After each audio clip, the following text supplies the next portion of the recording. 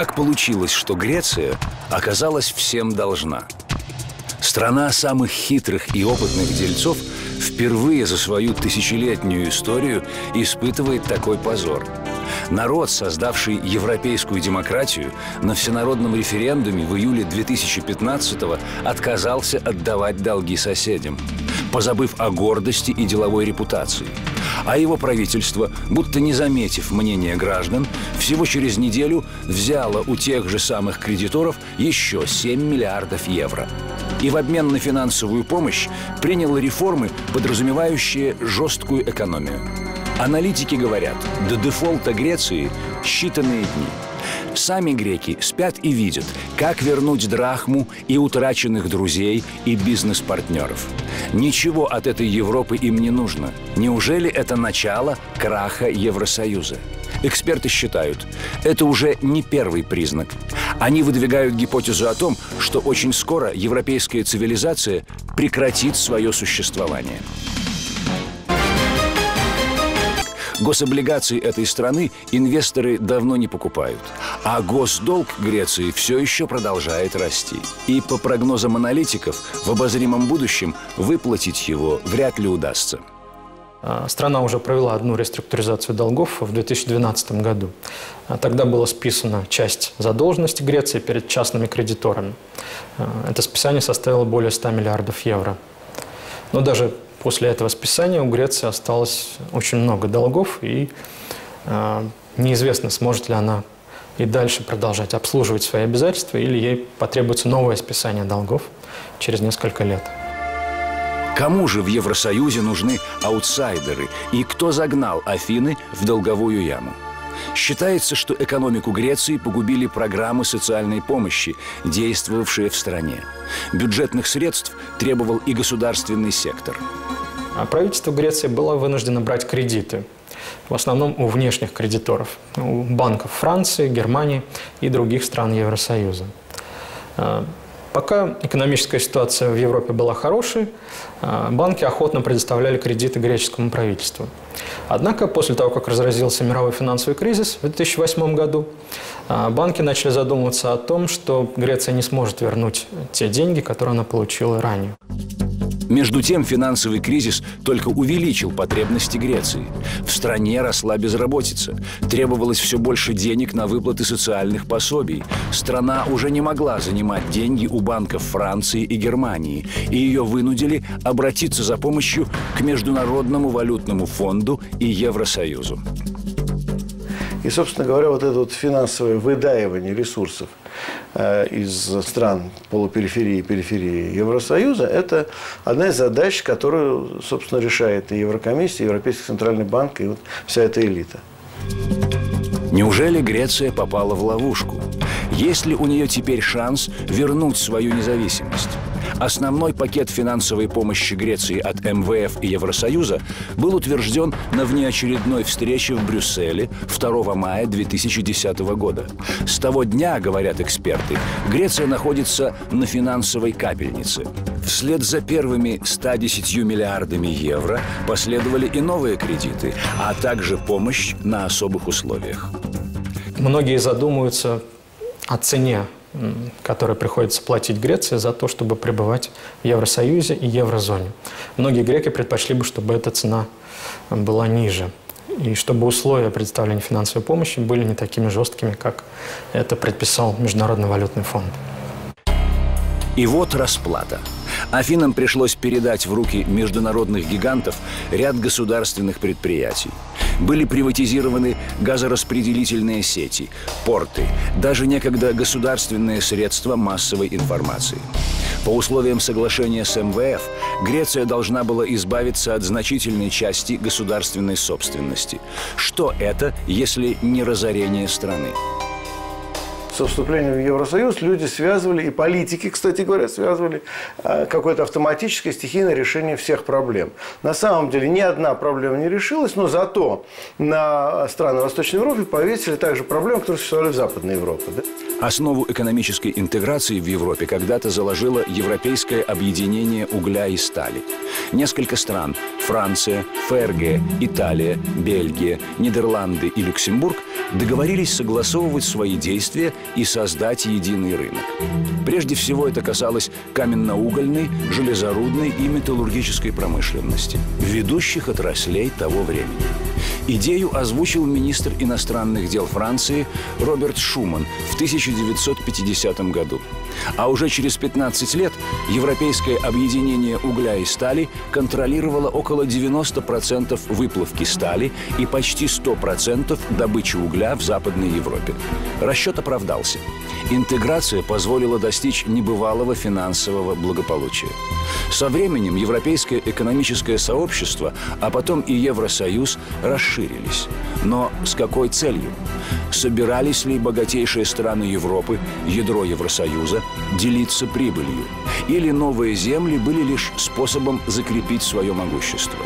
Во многом это был уже не экономический, а политический расчет.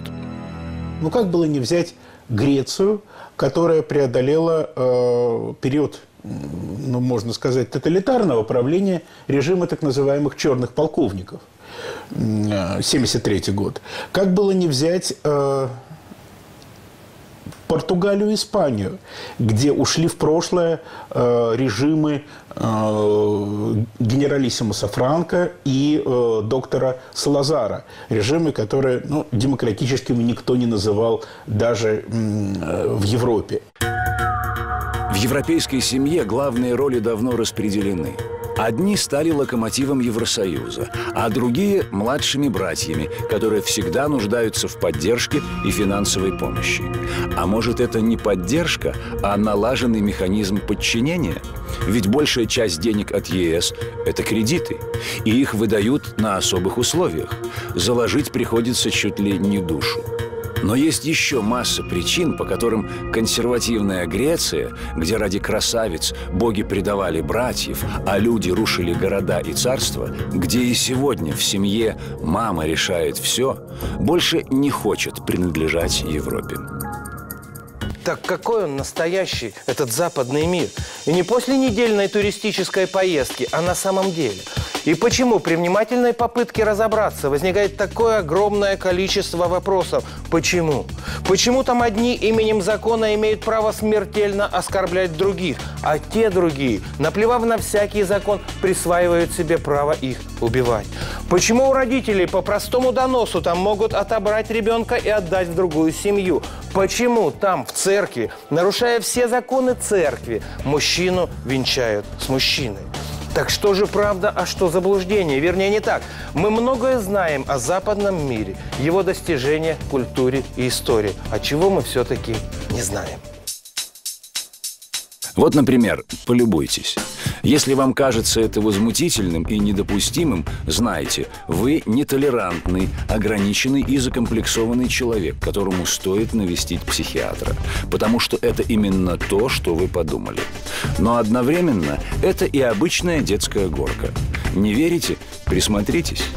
Вот из этого самого места выезжает пятилетний малыш – Горка эта находится в Норвегии, и поставили ее там в целях воспитания, чтобы дети ничего не стеснялись и могли правильно развиваться. Вас это шокирует? Значит, вы пока недоразвиты и еще не в состоянии оценить плодов передовой европейской цивилизации.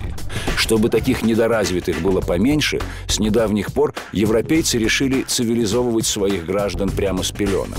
Самым маленьким передовые ценности доходчиво объясняют на примере зверушек. Посмотрите, эта французская книжка называется «У лисенка Жана две мамы». А вот рассказ про малыша, пингвиненка, под названием «Танго двух пап». А почему бы и нет? А вот раскраска о любви двух принцесс-лягушек.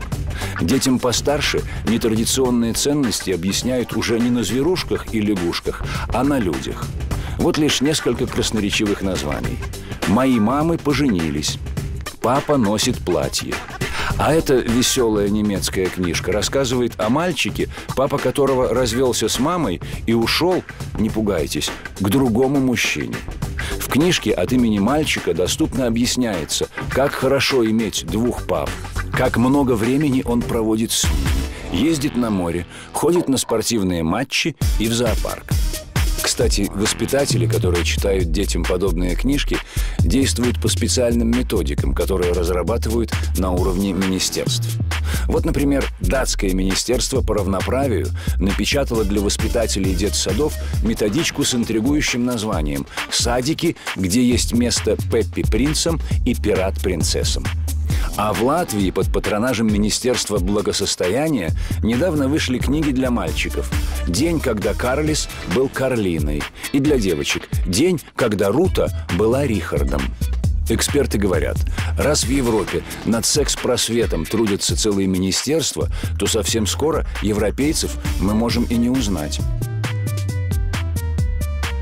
согласно инструкции э, организации, мировой организации здравоохранения э, и, прочих, ЮНИСЕФ, э, то, что начиная с детского сада социальным работникам, учителям предлагается ознакомливать детей с разными гендерными ролями. А это уже Германия. Взгляните, на один день ученики одной из немецких школ поменялись ролями. В честь Дня гендерного равноправия мальчики оделись в девочек, а девочки в мальчиков. Участвовали все, и учителя, и ученики, потому что, по мнению европейцев, это помогает взаимопониманию. Это очень важно – почувствовать себя на месте друг друга. Если вас шокирует, что трудовик и физкультурник однажды могут прийти в школу в юбке с накрашенными губами и на каблуках, а математичка в мужских брюках и с накладной бородой, это значит, что вы недоразвитый. В этом уверены идеологи новой Европы, которые теперь учат, что человек в раннем детстве – бесполое существо. Поэтому, вне зависимости от того, кем он родился, позже может выбрать, кем он хочет быть в жизни. Дело в том, что э, гораздо легче управлять людьми, которые не имеют э, навыков самостоятельного анализа информации, происходящей в мире. Поэтому э, гораздо легче управлять атомизированными людьми, которые лишены любой коллективной идентичности, да, будь то национальной, религиозной и даже половой идентичности да, уже сейчас. Взгляните, вот такие красноречивые коробки продают не в магазинах для взрослых, а раздают в детских садах в швейцарском городе Базель. Пластиковые боксы предназначены для детей от 4 лет. В комплект, помимо странных кукол, входят специальные книжки с картинками и плюшевые игрушки, которые имитируют интимные органы. Но даже не это самое страшное, а то, что сегодня малышей превращают в так называемое оно. Существо, которое не знает, кем является – мужчиной или женщиной. Взгляните, это Макс. Ему два года. Английские папа и мама наряжают малыша в штанишки, как мальчика, и надевают юбочку, как девочки. И хотя Макс родился нормальным мальчиком, считается, это еще ни о чем не говорит. Пока мальчик сам не определится, кто он такой, родители заставляют его играть и с машинками, и с куклами. Мама красит ему ногти и закалывает девчачьи заколки, а папа показывает, как собираются роботы. По утверждению родителей, они это делают из любви к своему ребенку. Гендерно-нейтральное воспитание дает ребенку свободу выбора между стереотипной одеждой какого-то одного пола. То же самое с игрушками. Он одевается и играет так, как ему нравится. И малыш Макс, из которого растят неведомую зверушку, и его родители, и еще сотни тысяч европейских семей стали жертвой модной теории гендера – Столь популярная сегодня теория гендера имеет американское происхождение. Согласно ей, человек рождается без пола, одновременно являясь и мужчиной, и женщиной. А пол ребенка зависит не от того, кем он родился, а от того, как его воспитывали. То есть, если воспитывать мальчика как девочку, наряжать в юбку, давать играть в куклы, то из этого ребенка получится она. И наоборот, давай ружье и машинки, заставляй драться, вырастет из девочки мальчик. А уж подправить Исправить физическое несоответствие – это дело хирургической техники. Более того, если верить разработчикам теории гендера, то ни мужчин, ни женщин вообще не существует. Есть только насильно распределенные роли. Вот именно это, с точки зрения простого здравого смысла, да и христианства, не безупречная теория сегодня захватывает старую Европу без единого выстрела. В Германии мы называем этот процесс «баукастен» — конструктор. Когда дети играют с конструктором Лего, они разбирают человечков, сделанных из деталей, а потом собирают их обратно. То же самое происходит и на идеологическом уровне. И это часть такой идеологии, такой игры. Что в этой игре ужасно, так это то, что она воздействует не на взрослых, а на детей. Конструирование таких детей будущего начинается в специальных детсадах. Взгляните, вот одно из таких дошкольных учреждений в Швеции. Детсад «Эгалия» с 2010 года работает в Стокгольме. С детьми здесь обращаются так, будто у них нет пола. Вместо «хан» или «хон» что в переводе со шведского означает «он» или «она», ребенка называют «хен», то есть «оно». Это бесполое слово педагоги взяли на вооружение у нетрадиционных меньшинств. Видимо, именно поэтому директор детсада Эгалия Лота Райлин считает эту методику самой демократичной. Менять мальчиков на девочек и девочек на мальчиков – это, конечно, не то, что мы собираемся делать. Но мы хотели бы дать каждому одинаковые права, одинаковые возможности, одинаковую ответственность. И это вопрос демократии. Вот как выглядит эта демократия на практике. Малыши играют в бесполых кукол и читают книжки, например, о мальчике, который любил розовое платье в горошек. Мальчики наравне с девочками обязаны играть на кукольной кухне, а девочки строить города из конструкторов Лего. Проблема заключается в том, что программа гендерного равенства крайне разрушительна. Она вводит детей в заблуждение. Дети перестают понимать, какая у них социальная роль. Конечно, программа имеет и долгосрочный эффект. Я говорю о демографии. Если людей смущает их собственная личность, им будет гораздо сложнее найти партнеров и установить с ними устойчивые отношения, потому что сложно строить отношения с человеком, который завтра может стать старым мужчиной или транссексуалом. Многие производители уже уловили дух времени. Например, шведские заводы детских игрушек даже наладили выпуск специальных товаров. Взгляните, на упаковке мальчик с куклой, а девочка с игрушечным автоматом. А это уже Франция. Посмотрите, в один из детсадов пришли чиновники из Минобразования. Им показали открытый урок, где воспитатели помогают детям побороть стереотипы. На доске клеят фигурки девочек и мальчиков. Задача школьников – нарядить фигурки так, чтобы те не напоминали ни мужской, ни женский пол. Но и это еще не все, потому что вы не знаете всех модных веяний. Оказывается, борьба с гендерными стереотипами в Европе, особенно в последние годы, идет по всем фронтам. Например, в одной рекламе или компьютерной игре не рекомендуется изображать женщину у плиты, а мужчину на футболе с кружкой пива.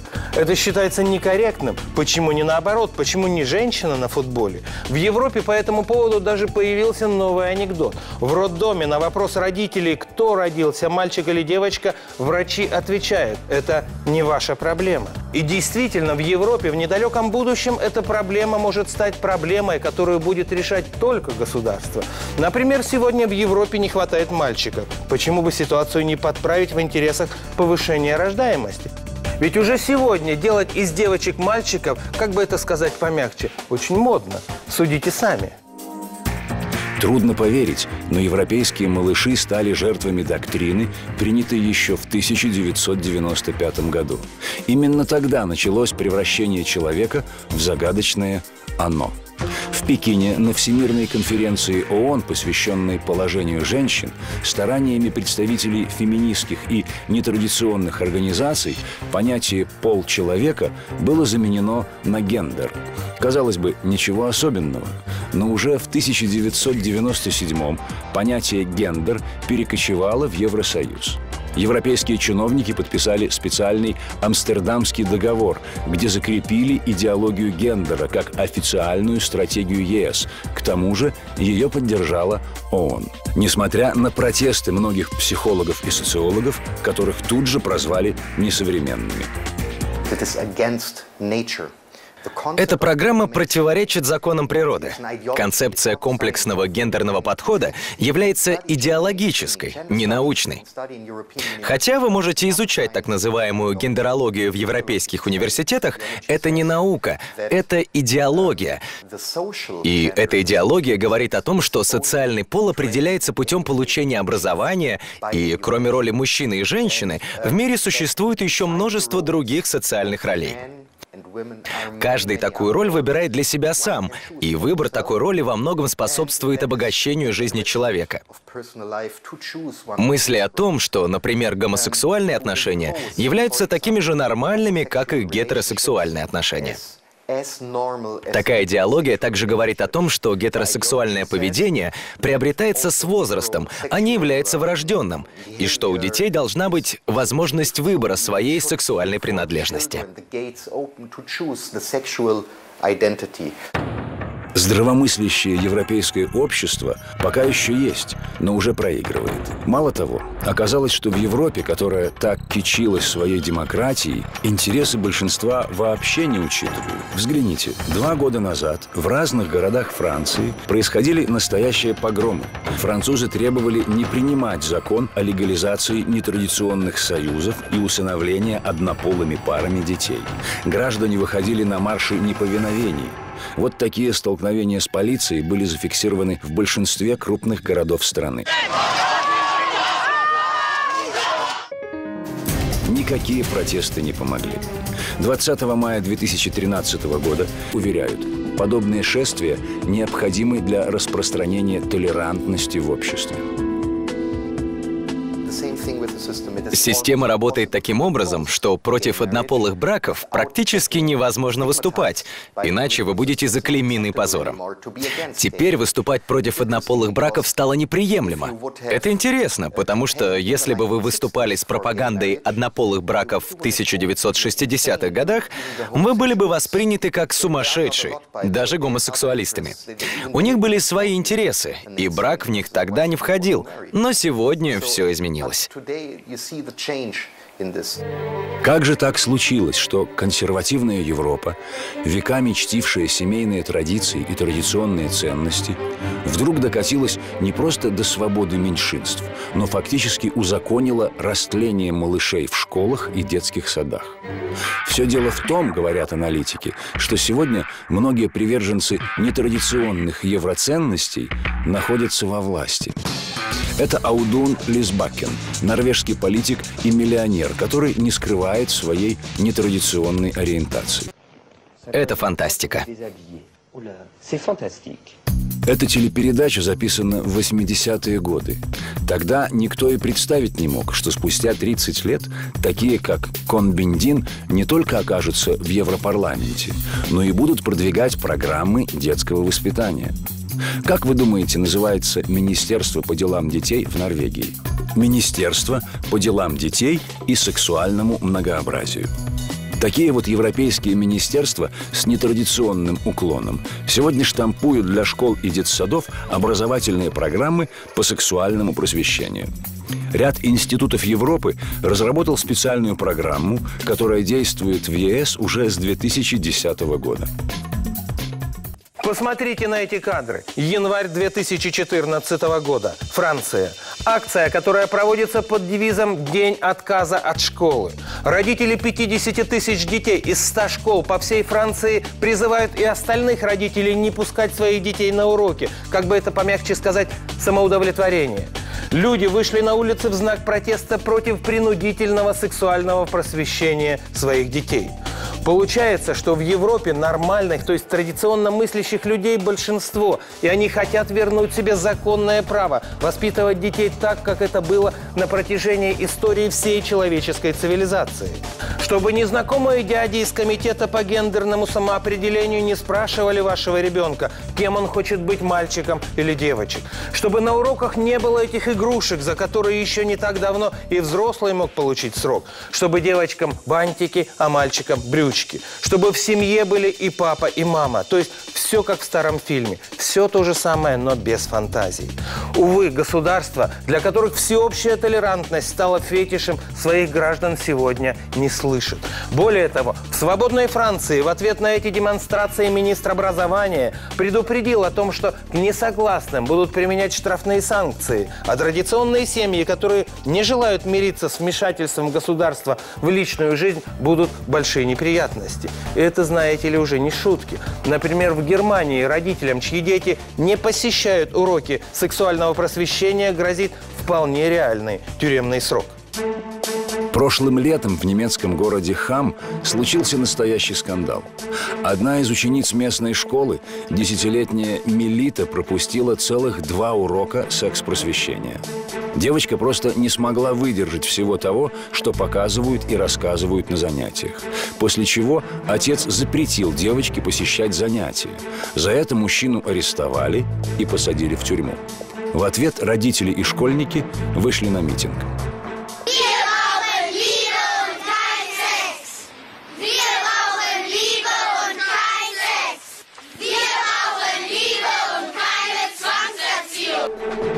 После массовых протестов отца школьницы, которая отказалась от уроков секс-просвета, отпустили. Вот что он сказал, выйдя из тюрьмы. В системе школьного образования продвигаются принципы раннего сексуального воспитания, что для наших детей предполагает огромную опасность. 18 января 2014 года на улице Кёльна вышли около двух тысяч родителей с детьми, чтобы остановить череду тюремных наказаний, которые власти выписывают родителям, чьи дети отказываются посещать уроки растления в детсадах и школах Германии. А это идут по улицам жители Штутгарта. Две тысячи человек в марте 2014 Они протестуют. Именно поэтому многие эксперты убеждены, что Европа часто ошибалась в выборе пути, и повторять вслед за ней все ее модные веяния и нововведения не стоит. Ведь в Европе сегодня кризис идей. Прогнозы аналитиков неутешительны. К концу 21 века европейская цивилизация в том виде, в каком она существовала тысячи лет, может исчезнуть с лица Земли. И тогда нашими соседями станут уже совершенно другие нации и культуры. Европа сама себя пожирает. Мы видим уже на самом деле предпоследнюю стадию этого пожирания. Я э, серьезно говорю, что в течение пары поколений нынешнее западноевропейское общество прекратит существовать. Но э, здесь есть э, два резона, почему так происходит. Первое, действительно, есть некая цепная реакция, вроде бы приняли какой-то небольшой блок э, законов действительно полезных и нужных по защите прав меньшинств, а затем пошло-поехало. Но э, э это, это одна логика, и и она есть, но есть и другая логика. Э, это логика сознательного оболванивания общества. Это логика сознательного вымывания всех ценностных установок у человека и э, превращения его в абсолютно послушного, манипулируемого, зомбируемого существа. Mene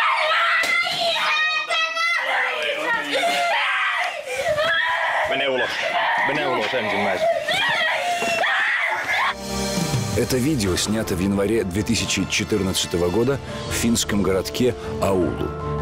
Полицейские ворвались в дом к местному правозащитнику Яну Эрику Курхела и силой увезли двух его малолетних сыновей. Работников правоохранительных органов не остановили ни мольбы матери, ни душераздирающие крики мальчиков. Изъять детей из семьи решили социальные службы страны. По их данным, с детьми здесь плохо обращались, и их лучше поместить в приют.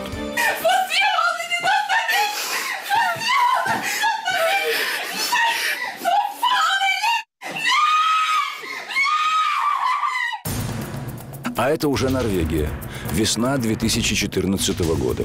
Сотрудники местной детской полиции точь-в-точь точь повторяют действия своих финских коллег. В дом молодой матери Ребекки пришли социальные службы и забрали годовалого малыша.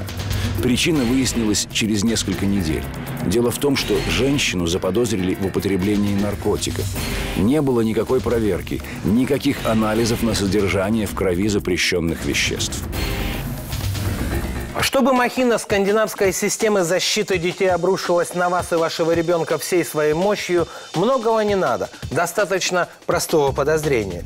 Например, служащему показалось, что у вас что-то не так в семье, на работе или в личной жизни. Все, это уже повод. Причем эти, с позволения сказать социальные работники, государством наделены колоссальной и необъяснимой властью. Отобрать вашего малыша они могут без суда и следствия. Только за последние несколько лет, например, органы опеки Норвегии отобрали у своих законных родителей около 10 тысяч детишек. Причем алкоголиков, наркоманов и прочих неблагополучных родителей в этом печальном списке немного. Большинство, с точки зрения нашего здравого смысла, нормальные семьи. Удивительно, но в странах, где личная свобода граждан возведена в самый настоящий культ, где что хочешь кури, где хочешь ходи голиком, хочешь даже можешь жениться на собственной маме, а в таком простом и, казалось бы, элементарном вопросе, как право жить с собственным ребенком вместе, граждане оказываются абсолютно бесправны. Я вам скажу, такого не было даже в Древнем Риме. В Норвегии несколько лет назад была создана специальная организация по отъему детей. Она называется «Барневарн». Эта структура не подчиняется никакой другой инстанции. Ее работа засекречена, а все данные о перемещении отнятых детей тщательно скрывают. Двери этой организации часто закрыты даже для норвежских СМИ когда а, ребенка забирают у родителей и э, э, помещают в какую-то структуру фашистующего типа, где не секрет детей накачивают транквилизаторами и Э, превращают их абсолютно в социально апатичных существ, то здесь уже о социальной роли личности, об индивидуальном мировоззрении конкретного ребенка говорить не приходится, и он становится лишь винтиком, потребителем, которому нужны только Макдональдс и телевизор. Вот э, это, это будущее Европы, которому они абсолютно сознательно, повторю, абсолютно сознательно стратегически перестраивают свое общество. Концепция деятельности Барневарна на первый взгляд кажется стандартной для подобных организаций. Ее специалисты должны помогать беспризорникам, жертвам насилия, убирать детей с улиц. Соцработники имеют право вмешиваться в семьи, где родители пьют, употребляют наркотики или нет подходящих условий для воспитания малышей. Но полномочия органов опеки в Норвегии выходят за все мыслимые пределы цивилизованного общества. Так сотрудники Барневарна имеют полномочия наблюдать за семьей круглые сутки. В любое время дня они могут прийти домой и потребовать, чтобы их впустили. Если в квартире кто-то есть, а им кажется, что не открывают слишком долго, этот факт обязательно будет внесен в протокол. И может оказаться, что это будет воспринято как желание родителей что-то скрыть. Слово экспертов Барневарна, даже не подкрепленное фактами, закон для норвежской полиции. Она обязана оказать содействие, если мамы и папы не согласны беспрекословно отдать малыша. Но полиция – это силовой инструмент, всегда силовой инструмент э, поддержки э, государственной политики, правовой политики. Э, полиция действует в рамках тех установок, э, которые ей обозначены, тем более, что Министерство внутренних дел – это всегда элемент э, правительства. И в этом смысле, раз полиция там и раз она действует таким образом, это показывает, что существует политическая установка, и вот эти органы опеки действуют не потому, что им так захотелось, а действуют в рамках политики государства. Все больше наших соотечественников сталкивается с особыми правилами местных органов опеки. Часто русские родители определяются как политическая угроза для системы, поскольку они отрицательно относятся к феминизму и гомосексуализму, хотят сами воспитывать своих детей. Это Татьяна Биткина. Ее история мало чем отличается от сотен подобных. Она вышла замуж за иностранца и уехала на родину мужа. В Норвегии у них родился ребенок. Мальчика назвали Иван. Брак не задался, и через какое-то время и принято давать детям конфеты только в выходные дни. И, например, кариес у вашего сына или дочери может стать причиной, чтобы на вашу семью обратили внимание органы опеки. Использование детского труда здесь также может быть расценено как нарушение прав ребенка. То есть элементарно попросить подростков убраться в классе после уроков или помочь по дому уже будет нарушением. Эксперты в один голос утверждают, что специалисты ювенальной юстиции сошли с ума и отбирают детей по любому поводу. Причем младенца могут забрать даже с родильного стола. Так было с 18-летней девушкой, у которой отобрали новорожденного только потому, что соцработник решил, что она еще слишком молода, чтобы воспитывать дочь. Все чаще правозащитники утверждают, что подобные действия делаются специально. В европейском обществе планомерно пытаются избавиться от такого понятия, как семья, любовь, родственные отношения. У людей не должно быть корней. Они должны расти в чужих семьях одиночками, которыми легче управлять. Ювенальная юстиция – это война уничтожения против детей и семьи. И э, цель этой войны – это а, атомизация общества. То есть общество стало фактически бессемейным обществом. То есть э, традиционные семьи не существовали в этом обществе. То есть это главная цель э, ювенальной юстиции. И в, в, в этой совокупности есть разные виды технологий, которые используют для того, чтобы уничтожить э, семью как институт общества. То есть это, естественно, пропаганда гомосексуализма, это однополные браки, легализация однополных браков, и это э, изъятие детей – в скандинавских странах ювенальная юстиция превратилась в индустрию, которая приносит неплохую прибыль. Дело в том, что отобранные у родителей дети обычно помещаются в приемные семьи. А чтобы у новых опекунов были все возможности для содержания малышей, государство ежегодно выплачивает им пособие. В 2011 году в пересчете на рубли люди, которые захотели сотрудничать с органами опеки, могли рассчитывать на субсидии по миллиону рублей в месяц. Сегодня эти цифры, конечно же, больше. Причем, если вы взяли ребенка-мигранта, то выплаты будут еще увесистее. В такой ситуации норвежское правительство будет уверено, что дети будут расти вне своей исконной культуры, забудут родной язык, традиции, и их легче будет интегрировать в современное европейское общество. А для норвежских, шведских, финских домохозяйств приемные дети становятся дополнительным заработком.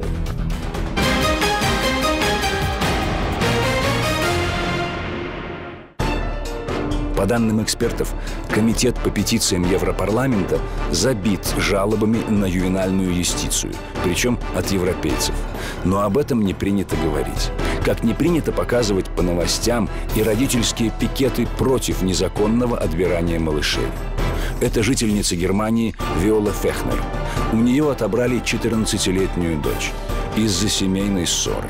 Мать отругала девочку, та рассказала об этом соседке – Бдительная женщина сообщила в соцслужбы о нарушении прав ребенка. Подростка тут же забрали. Вот уже два года девочка воспитывается не с двумя родными братьями и мамой, а в интернате. Семья уже отчаялась вернуть ребенка в семью и пытается хотя бы добиться свиданий. Правда, пока безуспешно. А это история еще одной немки по имени Жанин. У женщины отобрали двоих детей и поместили в приют. Причиной послужило обращение соседа, который якобы слышал, что с детьми плохо обращаются. В итоге, после многомесячного разбирательства, дочку вернули матери, но младшего сына оставили на попечении соцслужбы. И таких примеров сегодня сотни. К чему это все приведет? Эксперты считают, что скоро население благополучной Европы начнет стремиться... В магазинах, но если что, звоните, пишите, мы что-нибудь придумаем.